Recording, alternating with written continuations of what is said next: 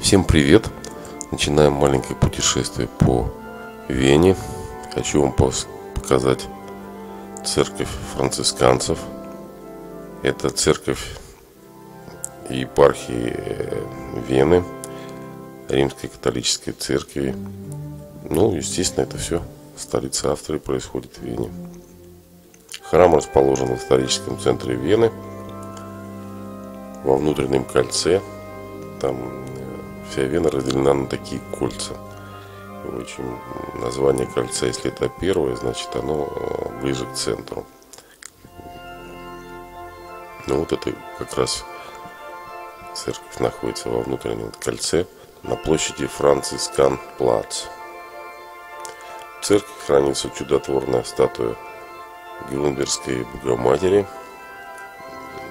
Она известна под именем Мадонны с топором – ну и с 16 века этот приход находится в ведении священников из ордена братьев меньших. Есть такой орден. Если говорить об истории создания, в 1529 году этот первый монастырь францисканцев был разрушен. В 1529 году. А уже в 1589 году городской совет передал францисканцев монастырь святого Иеронима. Что интересно, этот монастырь был основан в 1383-1387 годах при кладбище. А до францисканцев в обители находили приют кающейся проститутки.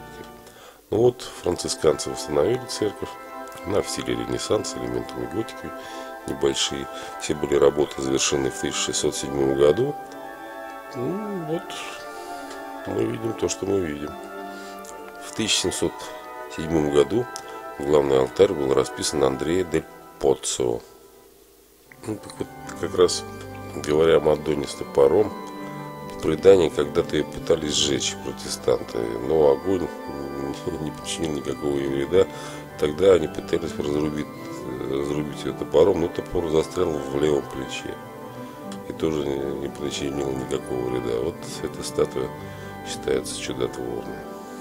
Орден францисканцев связан с Францем Осийским. Человек жил в Италии, и его последователи исповедовали любовь к ближнему, апостольскую бедность, аскетизм. Главная идея францисканцев – это босыми следовать за босым Христом. Особо строго запрещалось иметь деньги – то есть это серебряные и золотые монеты. Ну вот примерно все, что я нашел от церкви францисканцев, которая находится в Вене. Будете в Вене, обязательно зайдите, посмотрите. Я думаю, что получите удовольствие. Всем пока, всем привет. Bye-bye.